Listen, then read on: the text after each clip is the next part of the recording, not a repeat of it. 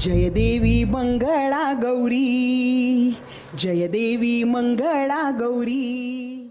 नमस्कार.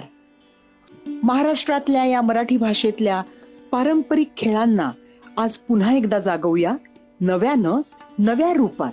हा पारंपरिक खेळांचा सोहळा अनुभवण्यासाठी आपण निश्चितच आम्हाला आमंत्रित करू शकता. मी आणि माझ्या सर्व सख्या आपल्याकडे येऊन या खेळांचा आनंद आपणास देऊ शकतो. चला तर मग. पुन्हा एकदा जागवूया. हेच क्षण बालपणातले खेळून भोंडला आणि मंगाळागौर नमस्कार आणि सुस्वागतम. मीट कलाकारच्या आर्ट अ जर्नी दिवाळी विशेष भागामध्ये मी बेला गोळे आपल्या सगळ्यांचं मनपूर्वक स्वागत करते. आनंदाचा मांगल्याचा दिव्यांचा सण म्हणजे दिवाळी. लक्ष दिव्यांनी उजळू दे अंगण आणि सजू दे शुभाची रांगोळी. सुख समृद्धीच्या शुभेच्छा मीट कलाकारकडून सर्वांसाठी खास. अंजली दिलीप सह साजरा करू आजचा आपला विशेष भाग. दिवाळीच्या लखलखत्या प्रसन्न आणि उत्साही क्षणांना आपल्या खुसखुशीत अनुभवांनी सजवायला आल्या आहेत. आजच्या आपल्या विशेष अतिथी सौ अंजली दिलीप. अंजली ते कार्यक्रमात खूप खूप स्वागत आहे. विविध गुणदर्शनाचा अनुभव म्हणजे अंजलीताई. मंगळागौरीच्या आजवरच्या अनेक स्पर्धांचे महाविजेतेपद भूषविणारा ग्रुप म्हणजे संस्कृती रंग माहीम. गेली एकोणीस वर्ष अंजलीताई या ग्रुपचे सक्षमपणे कार्यक्रम करत आहेत. बारा तेरा भाषांमधली गाणी त्यामध्ये जर्मन भाषेचा सुद्धा अंतर्भाव आहे आणि पाच भाषांमधलं निवेदन ही त्यांचं वैशिष्ट्य आहे. त्यांचे उल्लेखनीय कार्यक्रम म्हणजे शोभायात्रा हळद संगीत लग्न सोहळा डोहाळ जेवण बारस लग्नाची पंचवीशी पन्नाशी अशा कितीतरी सोहळ्यांचं देखणं सादरीकरण. त्या व्यतिरिक्त विविध संस्थांमधून त्या गेम शोजही करत असतात. याशिवाय एकांकिका नाटकं निवेदन रंग माझा वेगळा अगबाई सासूबाई डॉक्टर डॉन सुखी माणसाचा सदरा साईबाबा श्रद्धा आणि सबुरी माझी तुझी रेशीम गाठ चिमणराव गुंड्या भाऊ अशा दर्जेदार मालिकांमधून अंजलीताई आपल्याला भेटल्या आहेत. त्याचप्रमाणे सध्याची भूमी कन्या या सिरियलमध्ये सुद्धा त्यांचा वावर दिसतो. अंजलीताई म्हणजे बहुआयामी व्यक्तिमत्व. अभिनयासोबतच त्या एक फाईन आर्टिस्टही आहेत. रचना कॉलेजमध्ये फॅशन फॅकल्टी म्हणून त्यांनी कार्यभार सांभाळला आहे. तसेच एस एन डी टी कॉलेजमध्ये एकवीस वर्ष फॅशन आणि ज्वेलरी डिपार्टमेंटमध्ये व्हिजिटिंग फॅकल्टी म्हणून त्या कार्यरत आहेत. तर लगेचच जाणून घेऊ की एवढ्या विविध आघाड्यांवरची कसरत यशस्वीपणे हाताळणाऱ्या अंजलीताईंचा हा जर्नी कसा होता? तर अंजलीताई आपण सुरुवात करूया. आम्हाला जाणून घ्यायला आवडेल की तुम्हाला निवेदन हा अतिशय जवळचा विषय आहे. तर तुमच्या ह्या कला कारकिर्दीची सुरुवात निवेदनाने झाली का? कशी सुरुवात झाली आणि काय अनुभव होता? सुरुवात झाली माझ्या शाळेकडून. माझा जन्म दादर पूर्व आणि शाळा अर्थातच छबिलदास. जिथे नाटक रुजलं मोठं झालं. नाटकाच्या चळवळी झाल्या आणि जे काही घरात किंवा कुठेही मिळणार नाही अशा गोष्टी आम्हाला छबिलदासमध्ये मिळत गेल्या. सांगायला अत्यंत आनंद होतो की मला कीर्तन शिकवायला सुलभा देशपांडे ताई होत्या. हो आणि कीर्तन हा पहिला भाग मी केला. आणि मग आज सगळ्यात मी स्टेज सोडलेला नाही.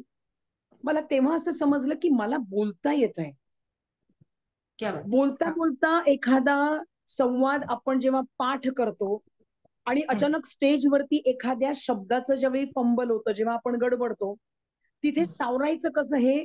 त्या कीर्तनाने मला शिकवलं. अच्छा. आणि मग मी पुढे शांतपणे हे करत गेले. कुठेतरी सांगड घातली माझ्या भाषेची प्रसंगांची आणि मी निवेदन करत गेले. पण छबिलदास शाळा हा सगळ्यात मोठा भाग क्या बात आहे. आणि चांगले गुरु मिळणं आणि त्याची जाणीव आयुष्यभर ठेवणं हे एक मोठं तुमच्यातला विनय आहे आणि तो महत्त्वाचा गुण आहे कोणत्याही एका सक्सेसफुल कलाकारासाठी. तर ही एक मोठी आम्हाला आज गोष्ट जाणवलेली आहे.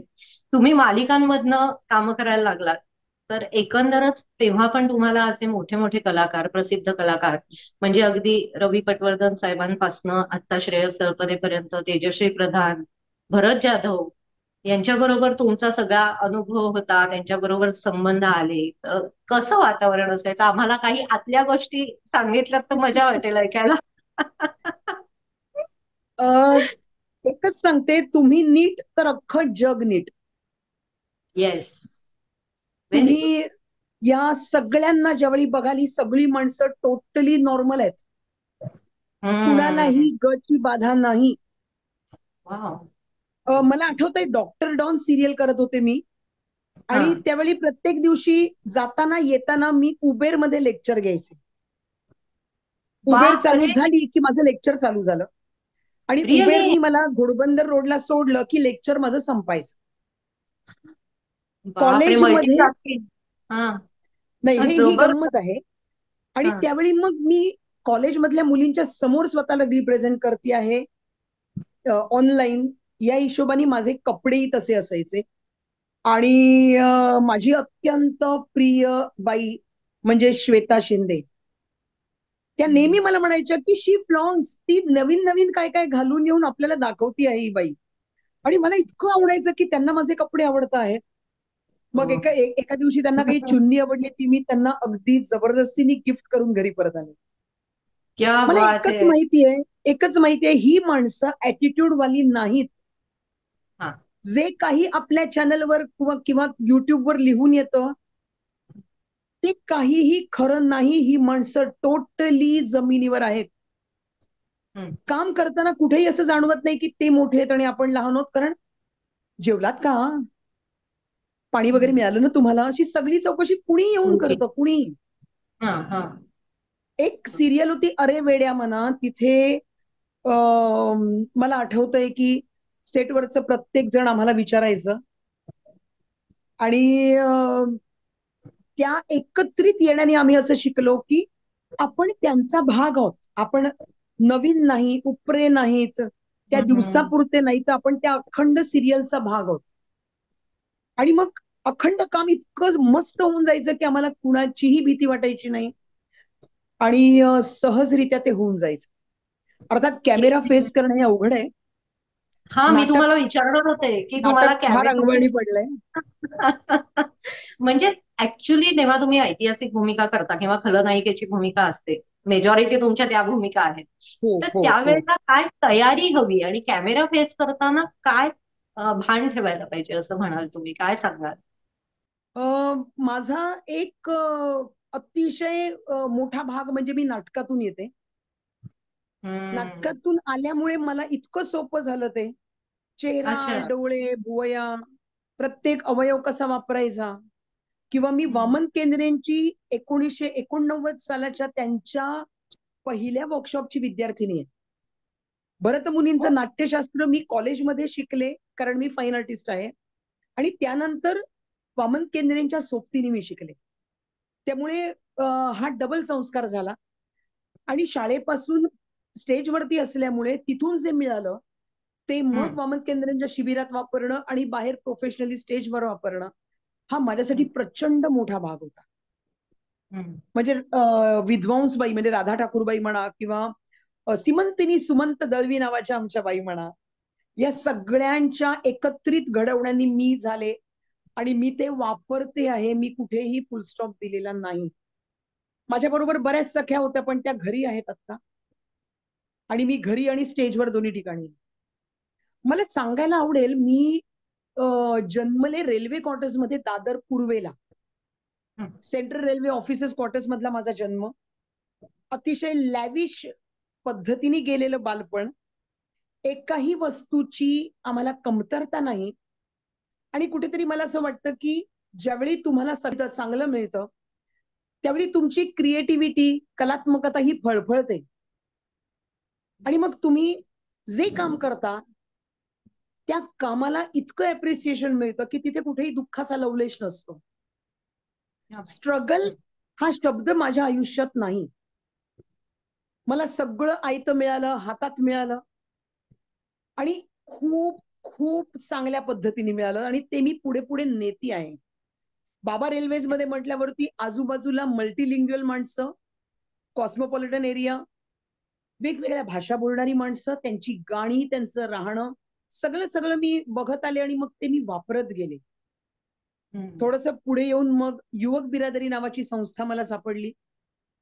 सन्माननीय पद्मश्री क्रांती शहा यांच्या हाताखाली आणि सन्माननीय सौभाग्यवती रेखा शहा यांच्या प्रेमाने आम्ही मोठे झालो. वा एकोणीसशे त्र्याऐंशी सालात मी बिरादरी जॉईन केली आणि आज तागायत. त्या बिरादरांबरोबर मी घट्ट बांधलेली आहे. त्यांनी तिथे जी गाणी शिकवली ती गाणी मी आत्ता वापरती आहे अजूनही. मी माझं स्वतःच काय घेऊन आले मला माहीत नाही पण मला अखंड रस्त्यावर जी माणसं भेटली त्यांनी जे जे काही मला दिलं ते वापरण्याची बुद्धी मला परमेश्वराने दिली. कारण म्हणजे घेऊन कोणी निघून जाईल निघून जाईल पण ते पुन्हा रिकलेक्ट करणं मेंदूतून बाहेर काढणं आणि ते कुठे चपखलपणे बसेल अशा पद्धतीने ते वापरत जाणं तेवढा भाग मला मात्र निसर्गाने डोक्यामध्ये घालून दिलेला आहे तो मी वापरत राहते. आणि क्रांती शहा क्रांती शहा माझा आधार. ग्रेट. मग तुमची संस्कृती रंग माहीमची सुरुवात कधी झाली? हो सांगते. थोडासा एक पॉलिटिकल भाग आहे याच्यामध्ये. पण माझ्या विभागामध्ये ज्यावेळी आम्हाला असं समजलं की ज्या व्यक्तीची भाषणं ऐकण्यासाठी आम्ही मरमरून धावत जायचो त्यांच्याच हाताखाली तयार झालेले सन्माननीय राज ठाकरे.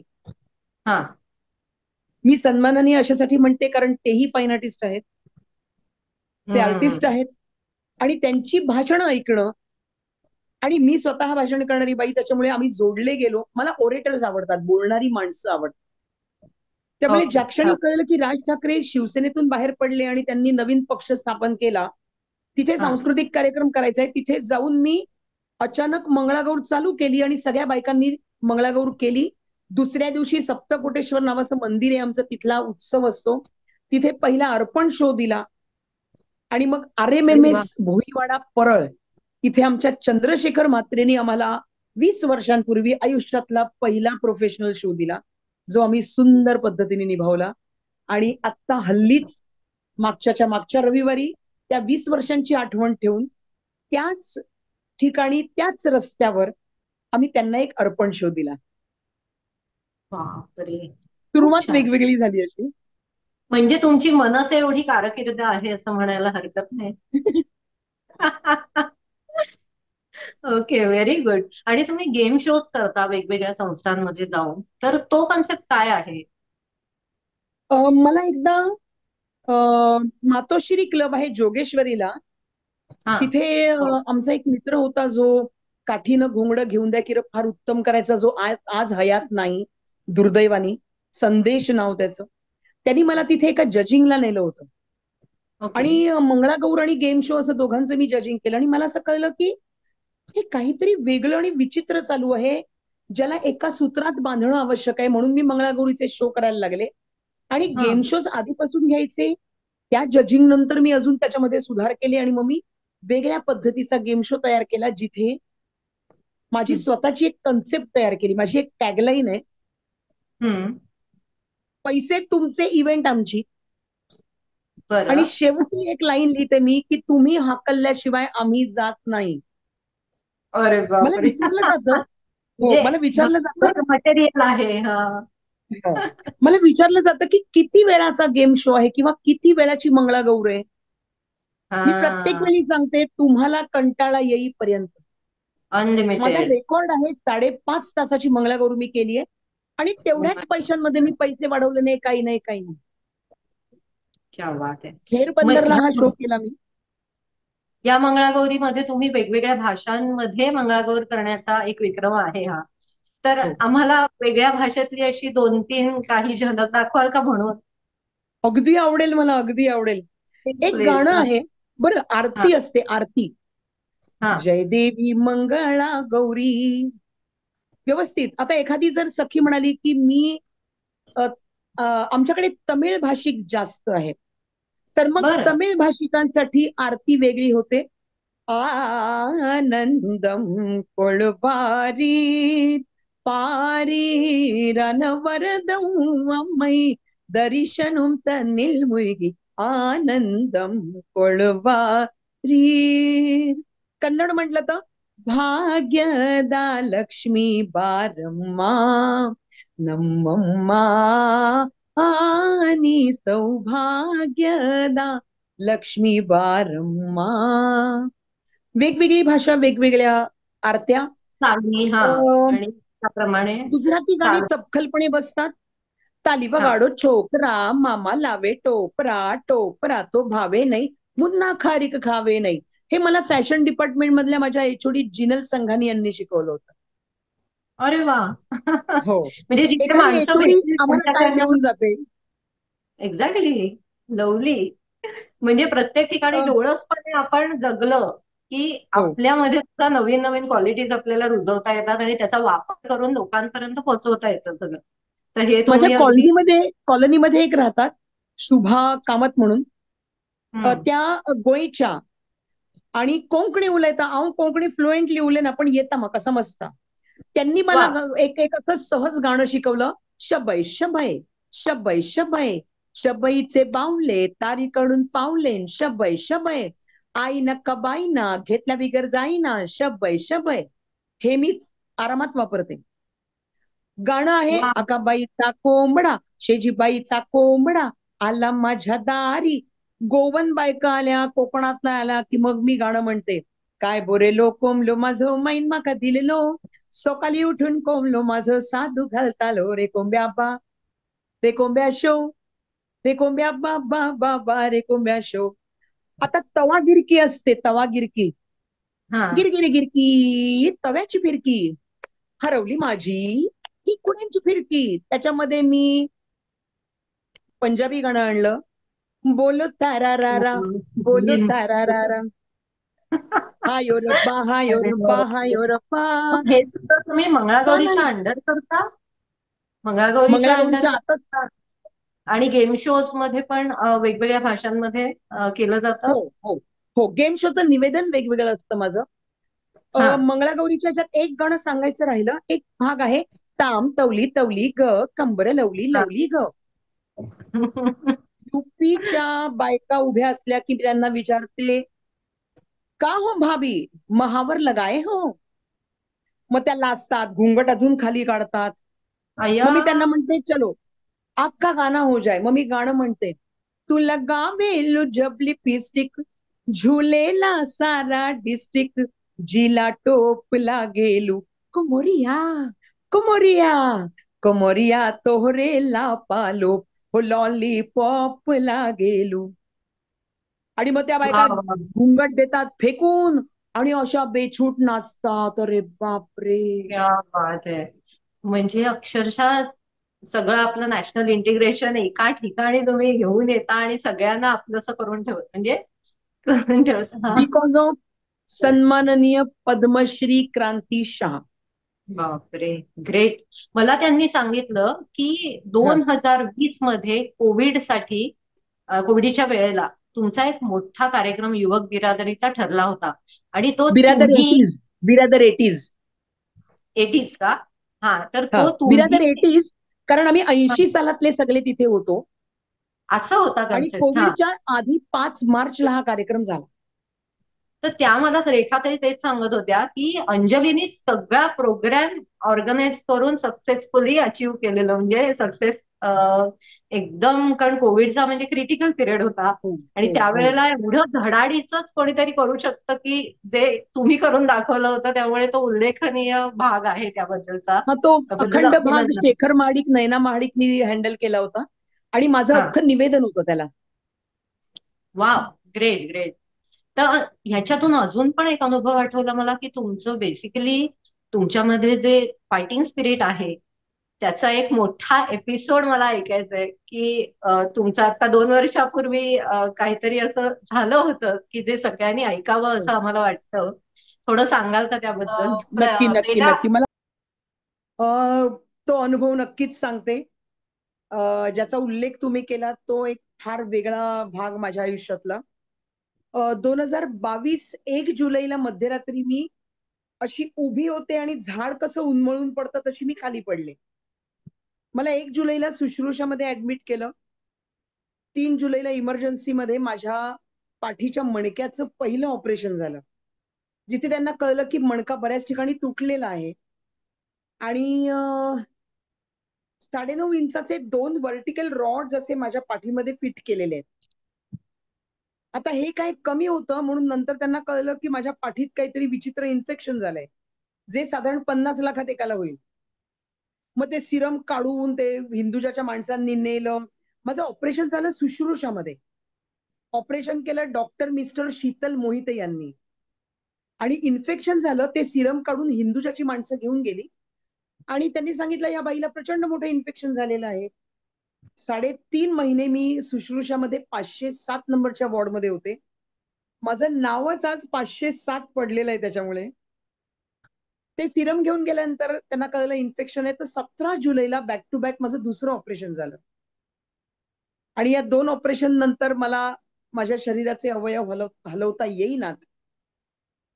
पण नंतर फिजिओथेरपी आणि बाकी सगळं करून मी साधारण अकरा बारा महिन्यांनंतर पहिल्यांदा उभी राहिले वॉकर धरून. हो आणि मग. जी मी उभी राहिले ती मी चालायला लागले मी फिरायला लागले.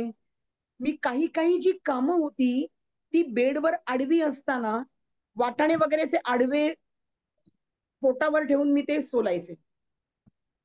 मी व्हिडिओ कॉल करून माझ्या नवऱ्याला आणि मुलाला किचनमध्ये जेवण बनवायला लावायचे. बऱ्याच गोष्टी मी शिकले. काय कसं आणता येईल उचलता येईल करता येईल मग मी उठून बसायला लागले तेव्हा तिथल्याच टेबलावरती पोळपाट वगैरे घेऊन मी पोळ्या लाटून द्यायला लागले हो माय गॉड आणि. मग मी एकदा उभी राहिले आणि मग मी आजपर्यंत पुन्हा पडलेली नाही अशी आडवी.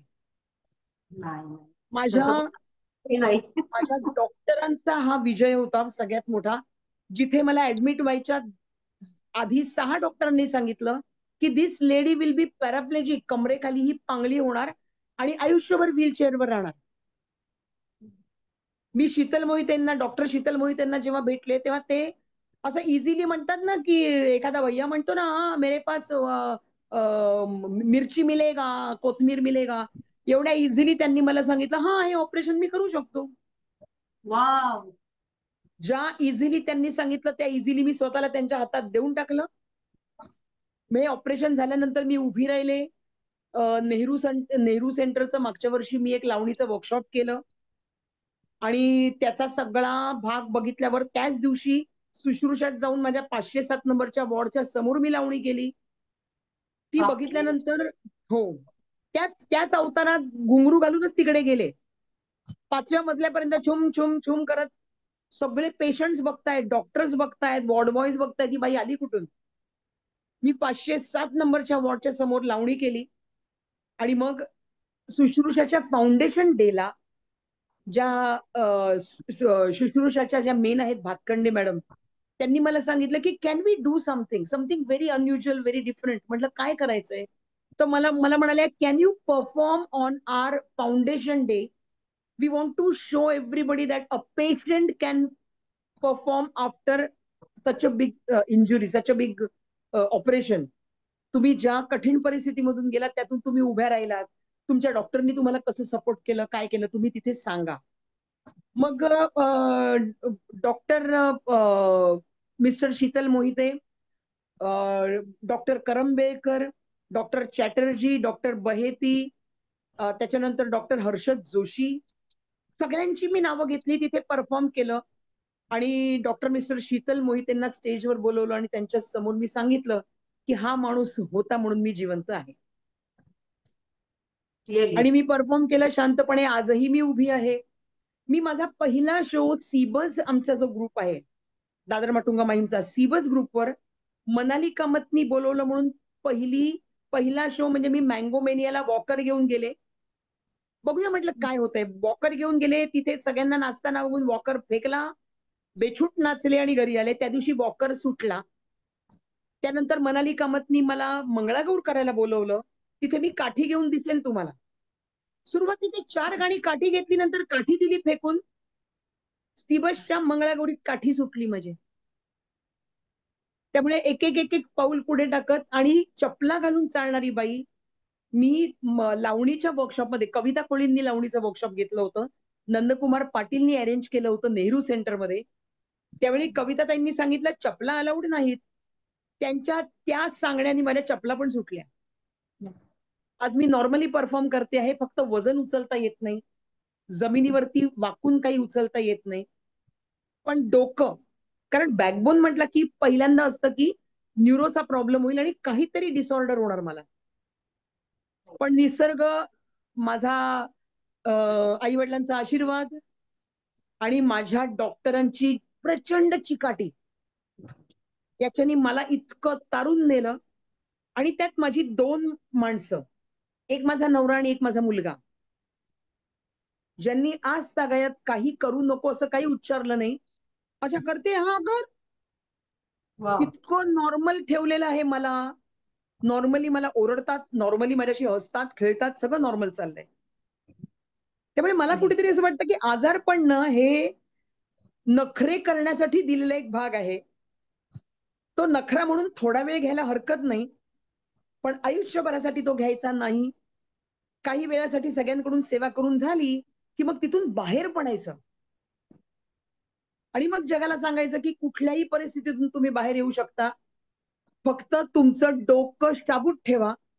कारण एक मला सांगितलंय माझ्या वडिलांनी आणि आईनी you can't rewind your life पहिली गोष्ट. And there is no repetition for anything आयुष्यात काहीही रिपीट होत नाही. दुःखही नाही आणि सुखही नाही. जे मिळेल ते घे ते आपलं समज आणि पुढे जा. म्हणजे संधी मिळते पूर्ण करायचं आणि संधी पुन्हा येत नाही ही गोष्ट लक्षात ठेवायची. आणि त्यावेळेला कारण तुम्ही हा जेव्हा प्रसंग सांगताय तेव्हा मी असा पांगुळगाडा घेऊन एखाद्या कार्यक्रमात जाणं ही गोष्ट तर सर्वसामान्यांसाठी एवढी सोपी नाहीये. त्यामुळे ते जे लाच आपण उगाच भीड बाळगतो किंवा एखाद्या गोष्टी लोक काय म्हणतील हा जो फॅक्टर मनात येतो ना तो पहिला बाजूला साधला पाहिजे आणि आपल्या. प्रगतीचा विचार करून पाऊल पुढे टाकलं पाहिजे. आणि हे तुमच्याकडनं शिकायला मिळालं. आणि तेच यशापर्यंत हा. मला सांगायला फार विचित्र वाटतंय की माझ्या आजूबाजूची सुद्धा बरीच माणसं माझ्याशी बोलायची त्यावेळी बंद झाली होती. की ही. बाई जर वॉकर घेऊन चालती आहे आणि लटपटती आहे तर हिच्याशी बोलायचं काय? आणि आज तीच माणसं मला उभं राहून सांगतात ला काय ना तुझं काय कॉन्फिडन्स यार? काय तू करते? आणि तेवढे वर्ष दीड वर्ष दोन वर्ष ती माणसं घाबरून घरात बसली होती. की या बाईला सामोरं कसं जायचं? म्हणजे अजून एक सांगते. गेले तीस वर्ष लग्नाला तीस वर्ष झाली आहेत दोन वर्षांपूर्वी ज्यावेळी मी उभी राहिले बसले पहिल्यांदा त्यावेळी बेडरूम मधल्या खिडकीतून मला समोर असलेली अं, सुदन भट आणि अंजली भट यांची खिडकी दिसली. अंजली भट तिथे मला त्यांच्या घरात काम करताना दिसले. मी लगेच फोन लावायला सांगितलं नवऱ्याला तू फोन लाव मला त्यांच्याशी बोलायचंय. तुम्हाला अतिशय छोटी वाटेल ही गोष्ट पण माझ्यासाठी भयानक मोठी की ज्या माणसांना बघून पहिल्यांदा माझी रोज माझी सकाळ होते पहाट होते ती म्हणजे भट फॅमिली कारण माझ्यासमोर आहेत. सगळ्या खिडक्यांमधून पहिल्यांदा भट दिसतात मला. सुदन भट दिसतात अंजली भट दिसतात. मी त्या बाईला फोन करून सांगितलं मी आयुष्यात एवढ्या वर्षांनंतर पहिली व्यक्ती तुला बघितलंय बाहेरची. तो मला आनंद. आणि जेव्हा मी चालून गॅलरीत गेले बेडरूम मधून बाहेर आले गॅलरीत गेले वॉकर घेऊन हळूहळू तेव्हा मी सुदन भटला फोन केला आणि म्हटलं दोन मिनिटं गॅलरीत या त्यांना आश्चर्य वाटलं सिली बाई का बोलवते? मी त्यांना म्हटलं सुदन भट मला हे माहितच नाही मी गेली अठ्ठावीस वर्ष तुम्हाला बघून जागतीये. काय म्हणजे आपण एरवी कधीच हा विचार करत नाही की आपण कोणाला बघतो कोण समोर आहे कोण खाली आहे कोण वर आहे. एवढ्या छोट्या छोट्या गोष्टींची आठवण होते अशा कठीण प्रसंगातून. आणि शो तसाच दणदणीत होतोय माझा त्यात काहीही प्रॉब्लेम नाही कुठेही कमी नाही. आवाज खणखणीत आहे मी स्वतः परफॉर्म करते आहे. तुम्ही जेवढ्या धीराच्या आहात जेवढ्या डॅशिंग आहात तेवढ्या इथून संवेदनशील पण आहात. आणि त्या पद्धतीने म्हणजे त्या स्वभावानुसार तुम्ही समाजासाठी समुपदेशनाचं सुद्धा कार्य करताय. म्हणजे अदर दॅन तुमची जी प्रोफेशन आहे की तुम्ही जे फॅशन डिझायनिंग म्हणा किंवा ज्वेलरी आर्टिस्ट त्या सगळ्या फील्डमध्ये आहात कलाकार आहात निवेदक आहात त्याच्या व्यतिरिक्त तुम्ही एक जबाबदार नागरिक म्हणून सुद्धा समाजासाठी कार्य करताय. तर त्याबद्दल सांगा की कशा प्रकारचं समुपदेशन आज तुम्ही करता समाजामध्ये? पहिलं समुपदेशन ते म्हणजे हसा. तुम्हाला वेळ मिळालेला आहे जगणं दिलेलं आहे कारण अनफॉर्च्युनेटली माझी मोठी बहीण वयाच्या त्रेपन्नाव्या वर्षी पोटाचा कॅन्सर होऊन गेली. त्यामुळे तिला जाताना जे मी पाहिलं ते मला असं वाटतं की मला तर बोनस मिळालंय आयुष्य. नाहीतर एव्हाने मी तिच्या बरोबर वरती मंगळागुरू करत असती किंवा खालती जिथे कुठे माझी सोय परमेश्वर परमेश्वरांनी केली असती. पण आज मला जर बोनस आयुष्य मिळालंय तर त्या आयुष्याचा उपयोग काय मग? मी एक लाईन केलेली आहे. प्रत्येकाला मी ती व्हॉट्सअपवरून पाठवते.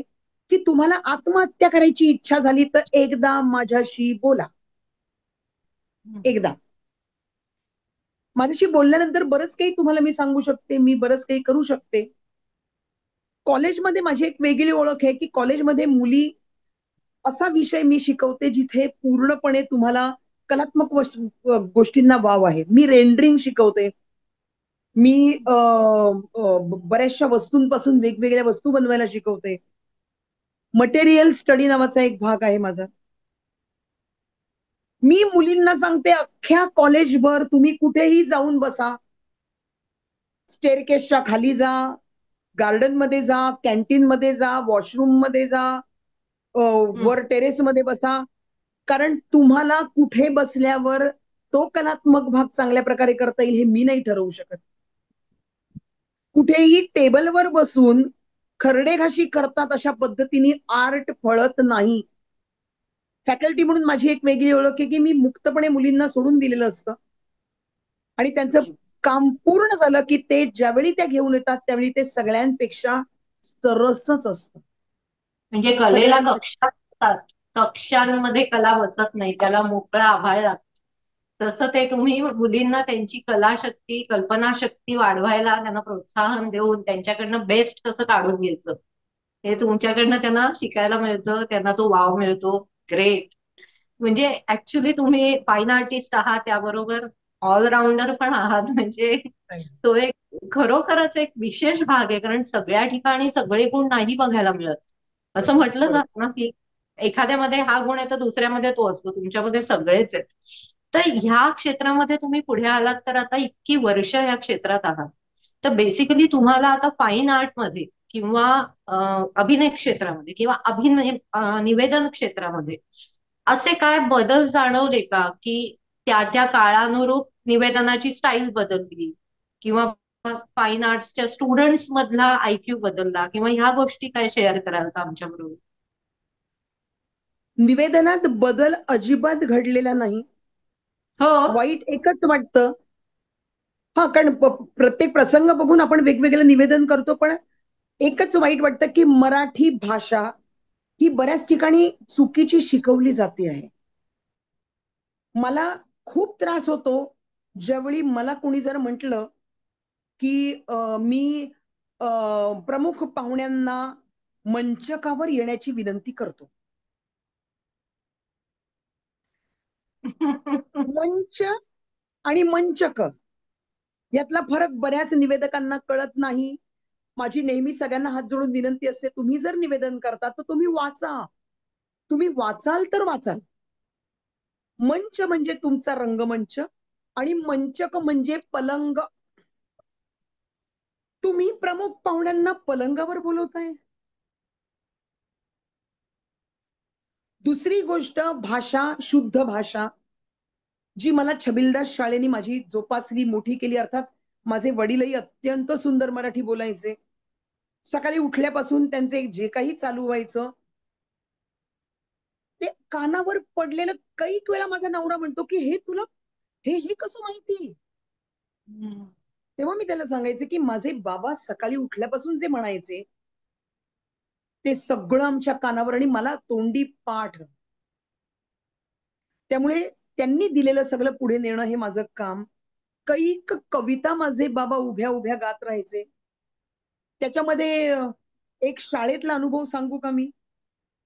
छबिलदास शाळेतला येस माझ्या मराठीच्या प्राध्यापिका होत्या बायंगोळकर बाई. ज्या माहीमला तेंडुलकर हॉलच्या आसपासच्या एरियात राहायच्या. ह्या बाई मराठीच्या शिक्षिका होत्या. आणि आम्ही नववीत गेले गेलो तेव्हा त्या रिटायर होणार होत्या. म्हणजे त्यांना दहावीतल्या कविता शिकवायला आमचा वर्ग मिळणार नव्हता. त्यांनी आमच्या मुख्याध्यापिका होत्या बेंद्रेबाई. बेंद्रेबाईंना सांगितलं की मला एक विशेष परमिशन द्या एक विशेष परवानगी द्या. मला ह्या दहावी अ ला कुसुमाग्रजांची पृथ्वीचं प्रेमगीत कविता शिकवायची आहे. ती परमिशन मिळाली आणि नववीत असताना मला बाईंनी ती कविता शिकवली आम्हाला. कविता शिकवत असताना नुसती अशी नाही शिकवली की युगा मागुनी चालली रे युगे ही करावी किती भास्करा वंचना किती काळ कक्षेत धावू तुझ्या मी कितीदा करू प्रीतीची याचना नाही. बाईंनी त्याला चाल लावली आणि बाईंनी जी कविता आमच्या मनात आमच्या पोटात आमच्या डोक्यात घुसवली ती आम्ही मरेपर्यंत जाणं शक्य नाही कारण आम्ही आजही ती गातो शाळेच्या मैत्रिणी एकत्र जमलो की युगा मागुनी चालली रे युगे ही करावी किती भास्करा वंचना. किती काळ कक्षेत राहू तुझ्या मी कितीदा करू प्रीतीची याचना. युगा मागुनी चालली रे युगे ही एखादी शिक्षिका एक कविता अशा पद्धतीने शिकवते तर तुम्ही विचार करा आम्ही काय घेतलं असेल छबिल्ला शाळेकडून? ग्रेट खरंच आहे. पाया तुमचा एवढा भक्कम आहे आणि त्याचा तुम्हाला अभिमान आहे की ते पूर्ण आयुष्यभर तुमच्याकडे शिदोरी आहे ती शबीरदास शबीरदासच्या संस्काराची. देशपांडेबाई देशपांडेबाई बेंद्रेबाई दातारबाई कानिटकरबाई चित्रकलेच्या काळेबाई चित्रकलेच्या छबिलदास बॉईज हायस्कूलचे आज हयात नाहीत. पण ज्यांनी आम्हाला सगळं सगळं भरभरून दिलं ते आमचे. विलास जोशी सर.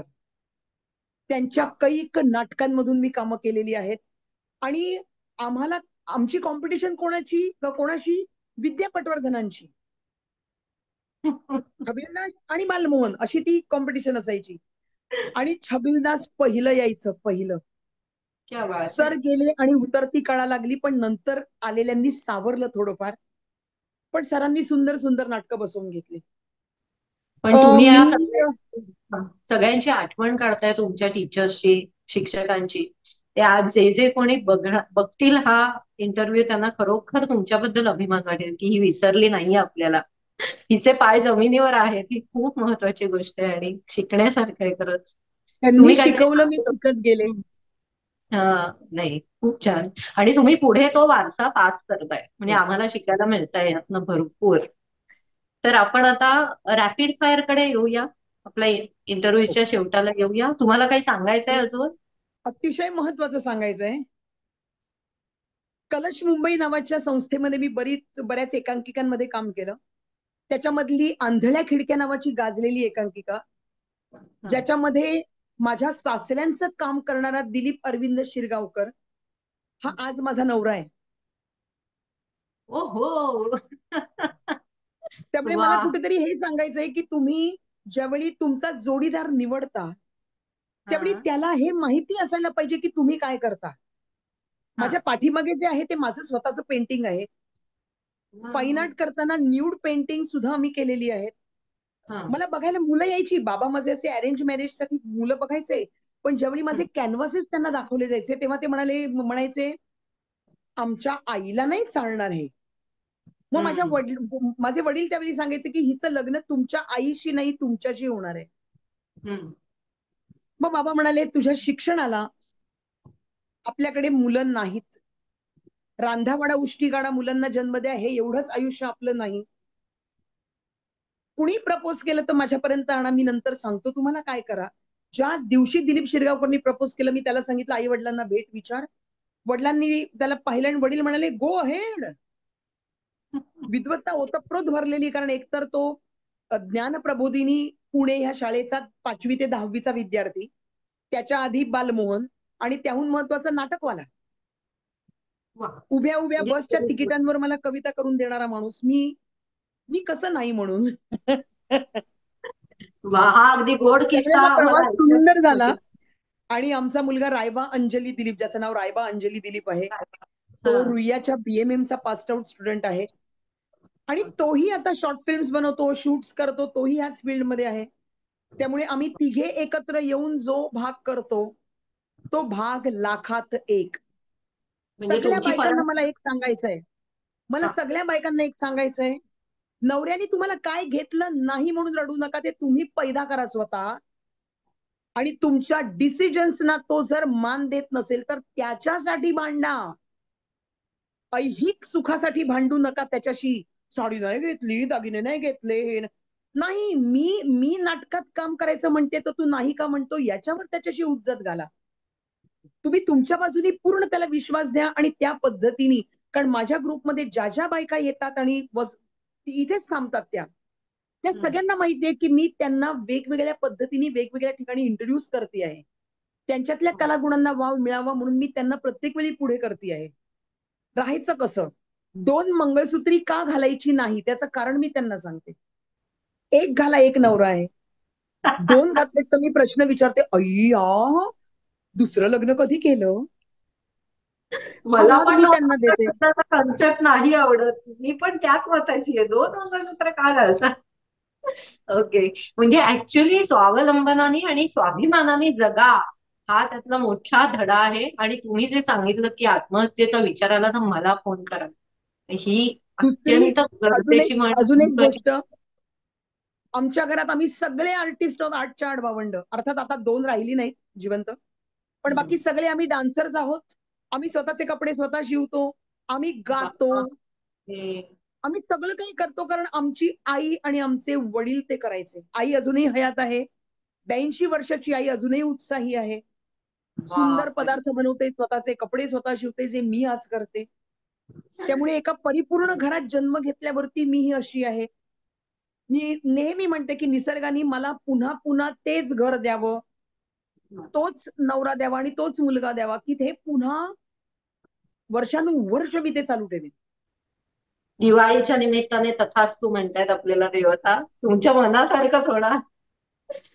चालेल. आपण रॅपिड फायरला जाऊया. तुमच्या छोट्या छोट्या आवडीनिवडी आम्हाला जाणून घ्यायच्या आहेत. त्याच्यासाठी ते एका शब्दाचे प्रश्न आहेत. हो. तर मी शब्द सांगते. तो शब्द हो. ऐकल्यावर तुम्हाला जे मनात येईल ते उत्तर द्या. प्रेम. पहिला शब्द प्रेम. रायबा आणि दिलीप. आनंद. स्टेजवर असणं माईक हातात असणं. आणि भरपूर श्रोते समोर. श्रोते भरपूर पाहिजे. वा वा. चला आपल्या व्हिडिओला आज भरपूर श्रोते मिळणारच आहेत. आदर्श व्यक्ती. आदर्श व्यक्ती शंभर टक्के माझे बाबा. हो वाव. शेवटच्या श्वासापर्यंत जो माणूस कन्सल्टिंग इंजिनियर म्हणून जॉब करत होता वयाच्या चौऱ्याऐंशी वर्षापर्यंत तो माणूस माझा आदर्श. नंतर ड्रीम रोल काय? म्हणजे पूर्वी झालेल्या आतापर्यंतच्या रोल पैकी दुसऱ्यांनी जे रोल केले त्यातला तुम्हाला कोणता करायला आवडला असता आणि फ्युचरमध्ये तुम्हाला कोणता करायचा आहे? दोन रोल मला ललिता पवार व्हायचंय. वा म्हणजे ऑलरेडी परफॉर्मन्स आहे संगडतोड त्यामुळे तुम्ही काही कमी नाही आहात. ललिता पवारला एकदम परफेक्ट मॅच कॉम्बिनेशनच आहे. आणि फ्युचर फ्युचरमध्ये एक ऍक्टर आहे. कारण गुन्ह्याला माफी नाही विजय भोसले. त्याची आई त्याची आजी असं व्हायला मला आवडेल. मी. त्याला नेहमी मी मी भेटल्यावर त्या- त्याला म्हटलं होतं की म्हटलं मी पुढच्या जन्मी आयदर तुझी आई आजी किंवा तुझी मुलगी व्हायला तयार आहे. काय सांगता? अप्रतिम- काम करणारी व्यक्ती आहे. सु- सुंदर म्हणजे सुंदरच काम करतो तो. आणि त्याच्या बरोबरीने कारण गुन्ह्याला माफी नाही मध्ये विजय भोसले बरोबर जी एक ही आहे व्यक्तिरेखा आहे अ, ती जी मुलगी आहे तीही फार सुंदर काम करून जाते. ती सिरियलच खूप चांगली आहे. आणि नेहमी मला असं वाटायचं की मी ह्याच्या बरोबर काम केलेलं अतिशय चांगलं होईल असं. क्या बात आहे. मस्त ही पण इच्छा पूर्ण होणार. तुम्ही सगळ्या गोष्टी इतक्या मनापासून करता की तुमच्या सगळ्या इच्छा आतापर्यंत पूर्ण झाल्या आहेत त्यामुळे फ्युचरमध्ये पण त्याला यश मिळणारच आहे. मंगळागौर शब्द. मंगळागौर सगळ्या बायकांना तुम्ही जिवंत आहात हे सांगणं. अच्छा. बरं. खायला आवडतं का बनवून खिलवायला आवडतं? दोन्ही गोष्टी. क्या बात आहे. आवडता रंग? काळा. मी काळ्याच. साड्या नेसते. काळ्या हो? व्यतिरिक्त काही घालत नाही. आजही मी काळ्या ड्रेसवरती ही चुन्नी घेतलेली आहे. हो ना? सगळ्या रंगांचं मिश्रण काळा रंग असतो. त्यामुळे सगळ्या कलांचा सगळ्या रसांचा तुमच्यामध्ये आविर्भाव आहे. म्हणजे तुमच्यामध्ये सामावलेला आहे. त्याचं प्रतीक. आवडता अभिनेता आणि अभिनेत्री. हिंदी इंग्लिश मराठी काही. हा. कोणताही. फार हसू येईल तुम्हाला. आवडता. अभिनेता शाहरुख खान. चांगलं आहे. शाहरुख खान. ओके. आणि जर मराठी आणि पूर्वीचं म्हणालात तर व्ही. शांताराम. दो अखे बारा हात अजूनही डोक्यातून माझ्या जात नाही. नाही खरंय आणि आवडती अभिनेत्री म्हणाल तर खूप आहेत अशा खूप आहेत खूप आहेत. पण आपण सकस अभिनेत्री म्हटलं आणि. वेगवेगळे रोल जिच्या वाट्याला आले अशी आहे ती म्हणजे राखी. राखी. राखी राखीनी बऱ्याच चुलबुल्या भूमिका पण केलेल्या आहेत.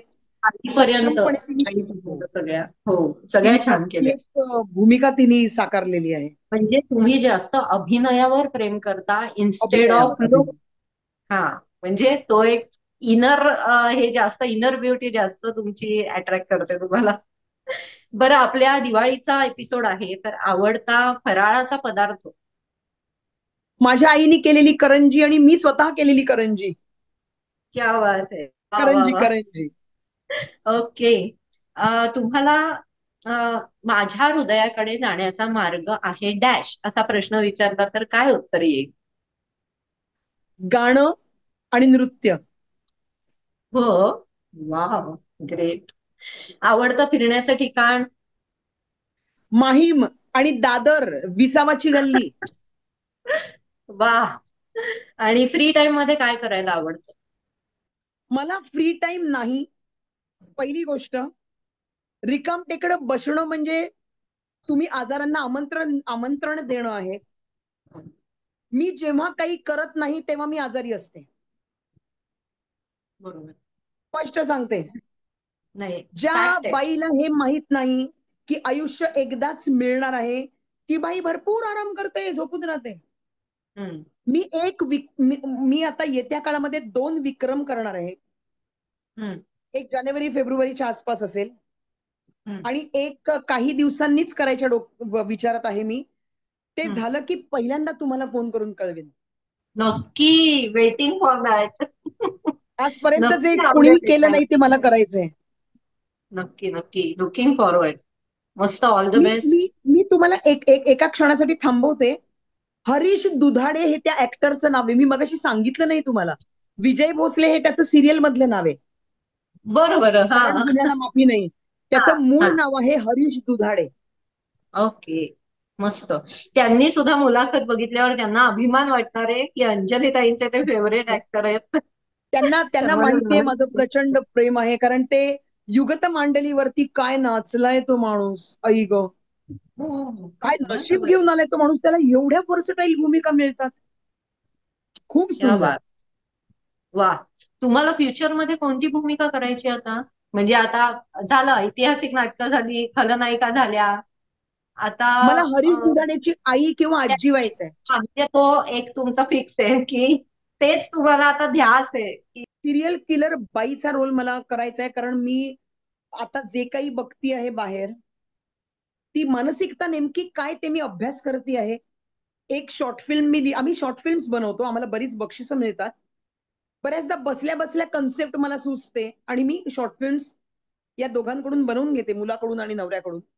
यावेळेस माझ्याच कन्सेप्टवरच्या शॉर्ट फिल्ममध्ये मीच लीड रोल करणारे आजीचा ती शॉर्ट फिल्म मला फिल्मफेअरला पाठवायची आहे. साधारण डिसेंबर पर्यंत ती पूर्ण होईल. आणि आता नॉर्मल आहे म्हटल्यावरती मी ती करणारच. कारण पुन्हा असा भाग येणार नाही. चांगल्या शुभेच्छा आमच्या आणि चांगला कन्सेप्ट आहे तुमच्या डोक्यामध्ये. तो प्रत्यक्षात सगळ्यांपर्यंत पोहोचावा. अशी आमची पण थँक्यू सो मच अंजली ताईंना मी रिक्वेस्ट करते की एक छानसा उखाणा घ्यावा आणि कार्यक्रमाची सांगता करावी. अगदी अगदी अगदी अगदी. दिले लाखभर रुपये. नवऱ्याला दिले लाखभर रुपये आणायला सोन्याची चेन. दिले दिलीप रावांना लाखभर रुपये मी आणायला सोन्याची चेन. बघते तर काय मेला रात्रभर बसला धरून हातात पेन. कारण माझा नवरा क्रिएटिव्ह रायटर आहे. हो हो फक्त आणि फक्त पेन असतं हातामध्ये बाकी काहीही नाही. तर आपण अंजलीताईंना भेटलो. अंजलीताई तुमच्या सर्व गुण संपन्नतेकडे बघून असं जाणवलं की निष्ठा धैर्य हिंमत सकारात्मक विचारांच्या बळावर तुम्ही अनेक शिखरं सर केली आहेत. आज आम्हाला आनंद वाटतोय की दिवाळीच्या रोषणाईमध्ये जसे कंदील पणत्या आणि रांगोळीने घर सजते तसेच तुमच्या बहुरंगी गुणांनी मीठ कलाकारसाठी तुम्ही जो विलक्षण अनुभवांचा नजराणा दिलाय तो सगळ्यांच्या कायमचा लक्षात राहील आणि त्याबद्दल तुमचे मनापासून आभार आणि धन्यवाद. आणि आपल्या प्रेक्षकांचे सुद्धा आभार. सगळ्यांना दिवाळीच्या पुन्हा एकदा शुभेच्छा. आनंदी राहा आणि काळजी घ्या. हॅपी दिवाळी. आणि आमचा हा एपिसोड कसा वाटला ते कमेंट बॉक्समध्ये नक्की लिहा. मीट कलाकारला लाईक करा शेअर करा सबस्क्राईब करा. And stay tune with meet Kalakar धन्यवाद. एकच एकच शेवटी जाताना म्हणेन मिठा पिठाचा जोगवा घ्या ग बायांनो लवकरी आणि मला बाई जायचं दुर्वरी हो माहीमच्या बाजारी. हा जोगवा मी. सगळ्यांसाठी मागेन दिवाळीसाठी. थँक्यू धन्यवाद. मला बोलवल्याबद्दल थँक्यू वेलकम